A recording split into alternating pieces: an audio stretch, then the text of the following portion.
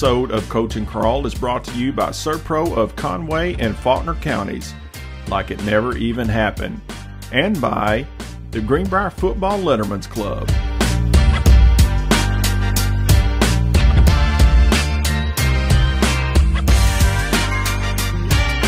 Well, Coach um, Farmington came in here last week, and you know one thing about it is that, uh, like you and I kind of discussed, that Farmington was a very good football team, and and I've actually read in some publications that they were picked to finish second in the 5A West.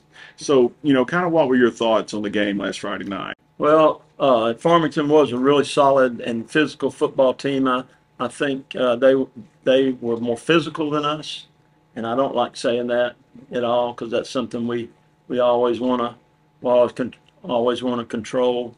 Um, you know, I think um, our inexperience we made stupid mistakes. You know, our, and and, uh, and and put ourselves in in bad situations and we were were just not uh, able to over overcome that. But I but I thought they were really solid. Their defense was really good. Yeah, I mean, yeah. really, uh, really good defense. Their their front four was really physical and strong, athletic guys. I think their linebackers were really really good, and they protected their middle linebacker. And he's a very uh, he's an exceptional athlete and strong and physical and uh, they just let him run and make plays and, and didn't allow blockers to get to him much. So, uh, you know, they they earned that victory. They Yeah. whipped us.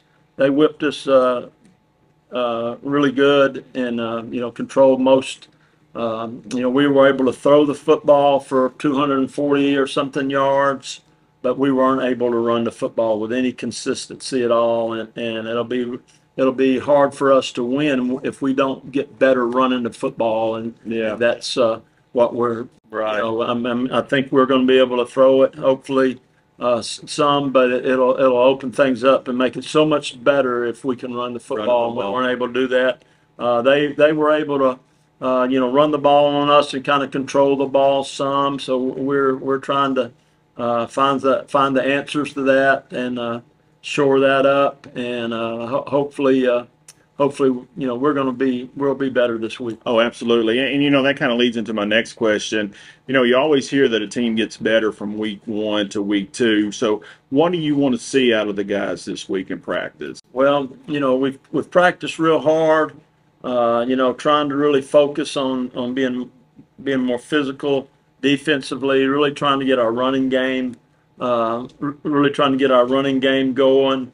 And uh, you know, I really we really need to see improvement in those areas and just our physicalness as a team and our ability to, to run the football, our ability to stop the run, and uh, and I think we will see improvement in, in all those uh, in all those areas. And and um, you know, I, I'm, I'm I've always I've always heard and I've always told my teams that you can it should be more improvement from game one to game two than any other game. And and we know you're the right they're the right kind of kids and they want to work hard, they want to be good.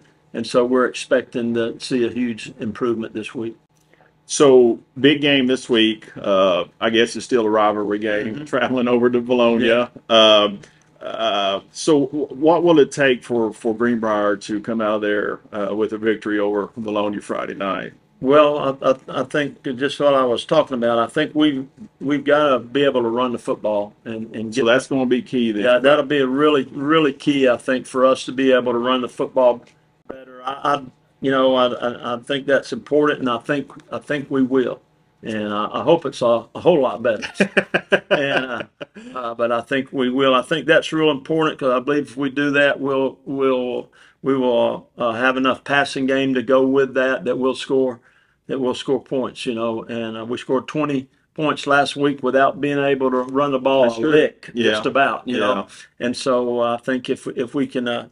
Run the ball and, and, and make them have to really work to stop the run, then that's going to make it easier to throw. And and uh, uh, you know, I think our our our quarterback and some of our skill guys are, are guys that can uh, make uh, big plays in the passing game if if we if we can put the, that pressure on them and not knowing whether we're going to run or pass, and then and then uh, uh, being more physical and just solid on on defense. You know, Yeah. not giving up big plays and uh, and, and, and not letting them just drive the ball, that, you know, and, and, and run the clock and make first Right. downs and get us tired because they're staying on the field so long. Yeah. I think I think those are those things are real important, and I, I believe you'll see an improvement in those areas. Awesome. Well, hey, good luck Friday night. Looking forward to All it. right, thanks, Eddie.